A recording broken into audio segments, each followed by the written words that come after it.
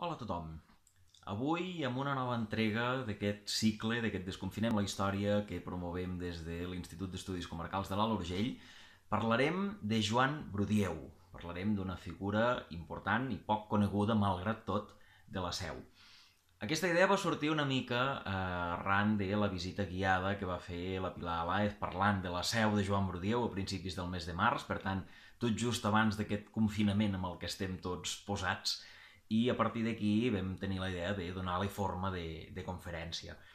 Eh, una conferència que s'havia de fer al mes de maig i que, evidentment, de moment no podem fer. Per tant, farem aquest avançament, aquesta petita píndola.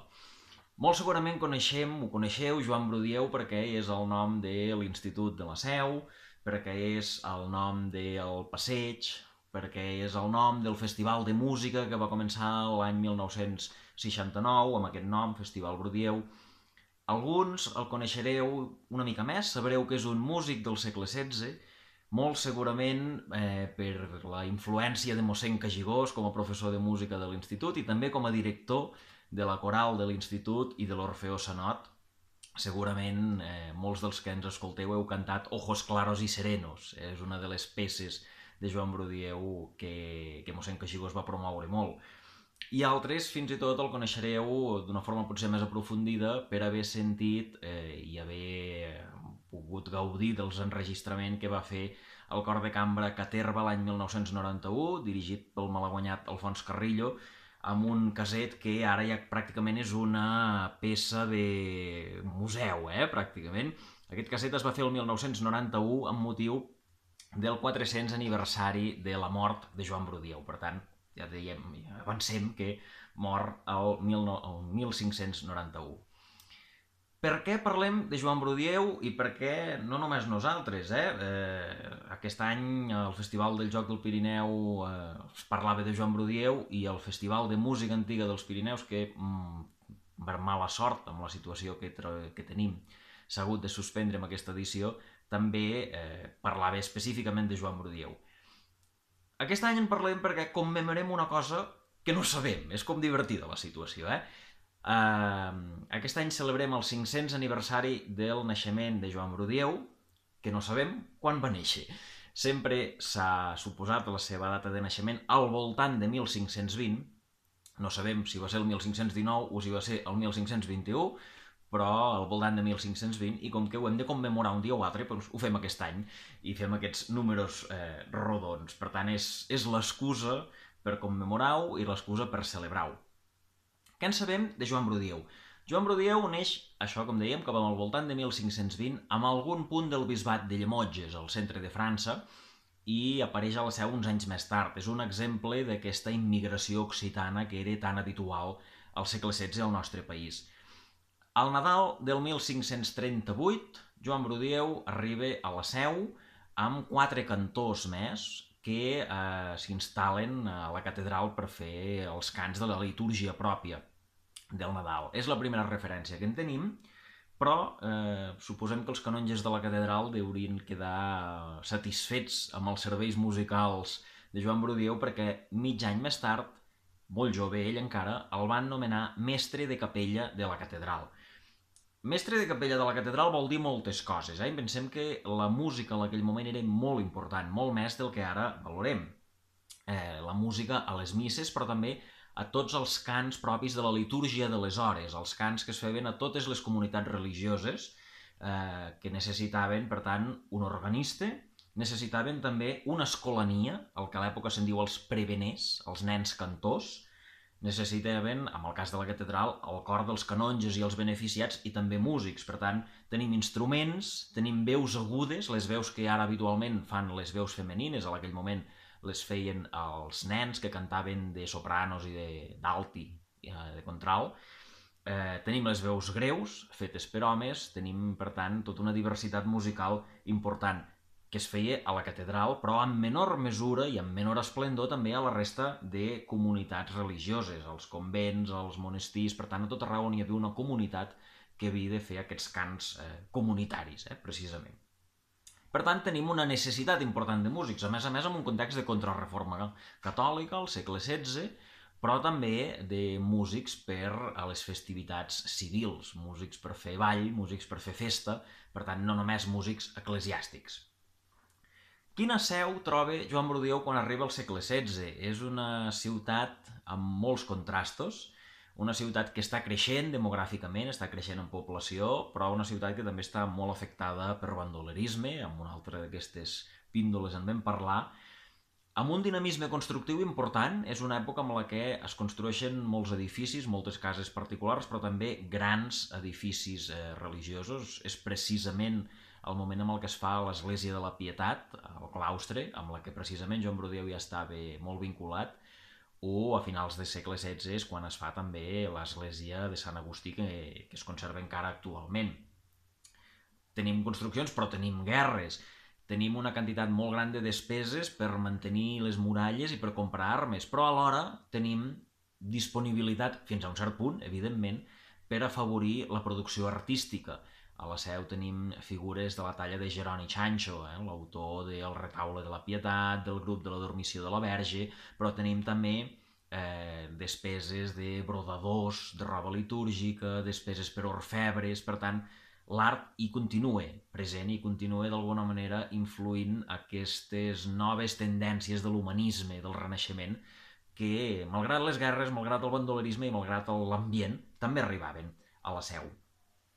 Brudieu, com dèiem, és mestre de capella des de 1539 al tanto fins a la seva mort, el 1591, de forma pràcticament seguida, ara ho veurem. Per tant, són més de 50 anys és poc, molt poc habitual a aquella època i per tant això és un altre element que s'ha de destacar sobre ell.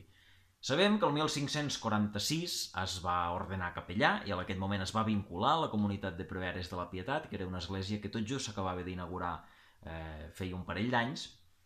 Sabem que el 1550 va anar a França, al seu mm, territori natal, eh, a comprar instruments, instruments per la pròpia capella de música de la catedral, i també sabem que el 1578 va estar uns mesos com a mestre de capella de Santa Maria del Mar de Barcelona. Per tant, també això ens dona una idea de la talla del personatge. Què més fa a Barcelona? Tornant a estar ja a la seu novament, eh? A l'any 1585, és un moment important, imprimeix el seu llibre de madrigals, de cançons, en podríem dir profanes, amb l'impressor Hubert Gotard de Barcelona. És un llibre que l'imprimeix dedicat a, al duc de Savoia. En aquest llibre us llegiré una frase només del començament. Joan Brudieu, quan dedica el llibre al duc, li exposa els motius del seu llibre. I, entre altres coses, li diu Ya sé que muchos dirán, ¿de dónde le viene al montañés tanta música?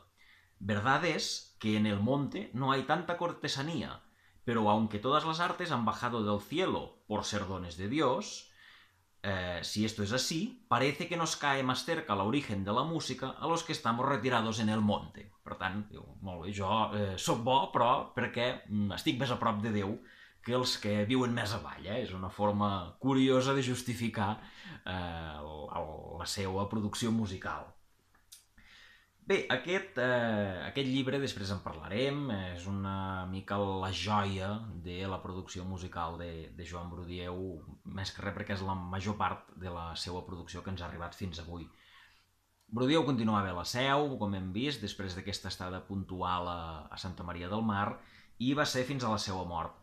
No sabem la data exacta de la seva mort, però sabem que el 22 d'abril de 1591 encara se li fa un pagament per la seva funció dins de la litúrgia i que el 10 de maig ja s'estava buscant eh, mestre de capella. Per tant, a finals d'abril, principis de maig de 1591, eh, Brudieu va morir i segurament va ser enterrat a l'església de la Pietat, on a la cripta hi ha una petita placa que recorda encara eh, que en algun punt d'aquella església segurament s'hi va enterrar el que va ser mestre de capella de la catedral. A partir d'aquí entra un període molt llarg d'absolut oblit de Joan Brudieu, total. Fins que l'any 1874, per una d'aquelles casualitats, trobem ja una referència a la seva producció, una referència que ens pot sorprendre, Eh, en aquell moment s'estava fent l'inventari de la música que es conservava a la biblioteca del monestir de l'Escorial i allà, a aquell monestir, es va localitzar l'únic exemplar d'aquest llibre que havia editat ell el 1585 a Barcelona. A més a més tenim sort, perquè eh, ara ho veurem amb un facsímil, eh, aquests llibres de partitures, el que es feia en aquell moment era fer edicions per cada una de les veus. Veieu, cantus, cantus és el, el cant, la línia superior del cant, el que seria actualment la soprano, de los madrigales del muy reverendo Joan Brudieu, maestro de capilla de la Santa Iglesia de la Seu de Urgel, a cuatro voces, dirigidos al sereníssimo Carlo Emanuel, duque de Savoia. Per tant, tenim els quatre eh, llibrets, el cantus, l'altus, el tenor i el bassus, per tant, les quatre veus impreses així per separat eh, de la seva obra. Si ens en faltés alguna, no podríem reconstruir amb prou veracitat eh, la seva obra, però per sort es conserva íntegra. Per tant, en aquest moment es redescobreix la figura de Joan Brudieu, tot això amb una història que és llarga i que precisament a l'estudi introductori d'aquesta edició facsímil eh, el Màrius Bernadó de la Universitat de Lleida ha reconstruït d'una manera extraordinària. Tot això té un punt d'inflexió l'any 1896.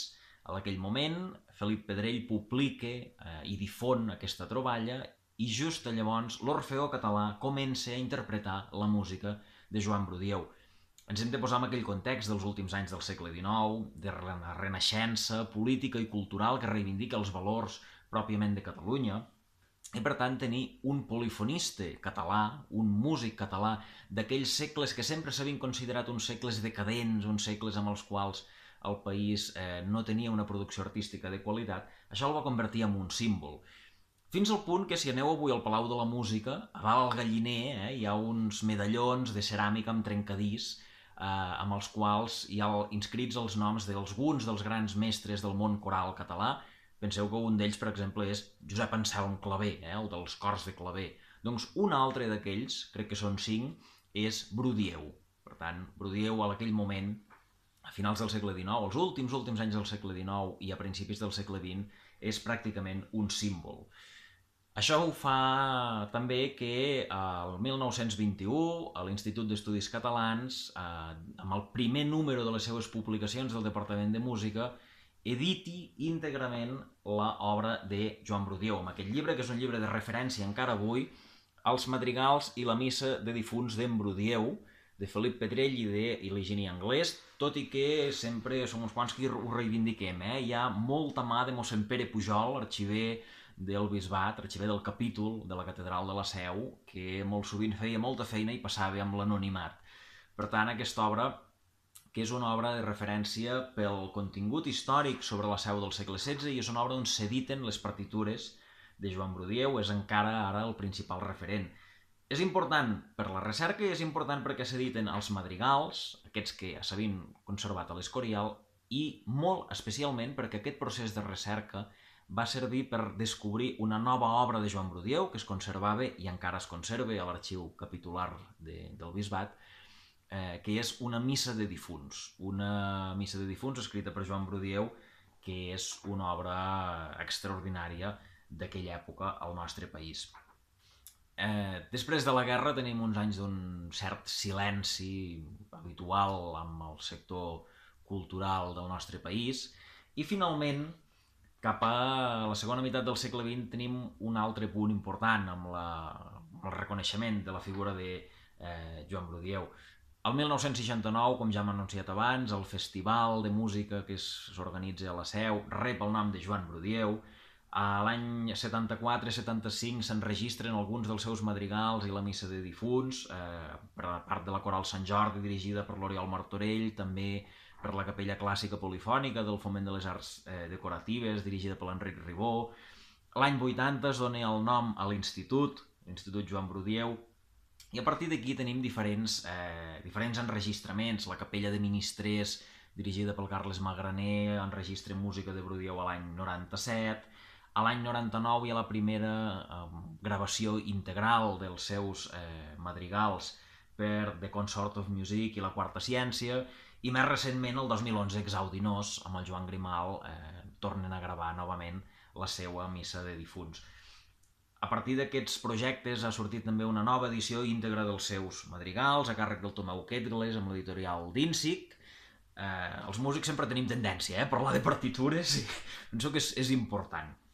I en resum, pensem que aquestes dos grans, aquests dos grans blocs de la música de Joan Brudieu, eh, els madrigals amb els quals hi trobem, per exemple, els goig de Nostra Dona, és una adaptació, en podríem dir, d'una melodia coneguda per la gent, amb diferents variacions a cada un d'aquests goig, on trobem també eh, textos mm, habituals a aquella època, com Les Canyes, que és una crònica d'un joc mm, que parodia d'alguna forma aquells tornejos nobles medievals, eh, o trobem també els madrigals que musiquen poesies d'Ausias Marc, per tant, amb un interès literari molt clar també.